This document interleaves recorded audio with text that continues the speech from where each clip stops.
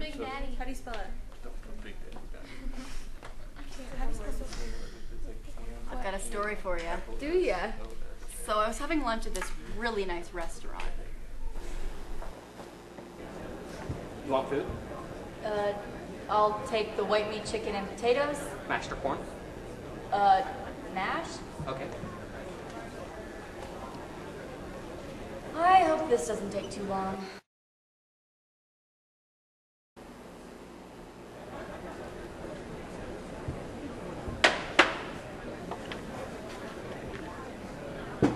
Um, I ordered the white meat chicken. I asked the kitchen staff, and we don't have white chicken. White meat, we just have chicken. Okay, there are two things wrong with this statement. Number one, it's not like chicken is divided into light and dark meat or anything. And number two, this is a fish. This is obviously chicken.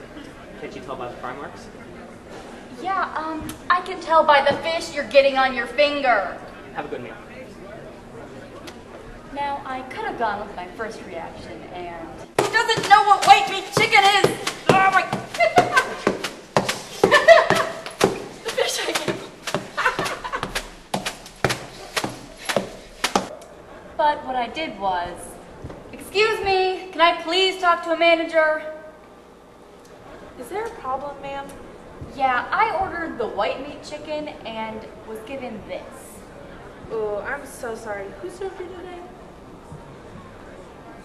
Excuse me, is the food good then?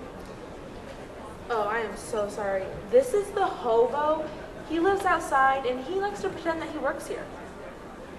No, you can't fire me. I work here, really.